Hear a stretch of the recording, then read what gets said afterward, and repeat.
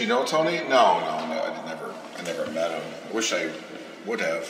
But no, I just, you know, learned about him and his ways on uh, Parts Unknown, and someone talked about that book he wrote about the seedy side of uh, New York restaurants. Tony.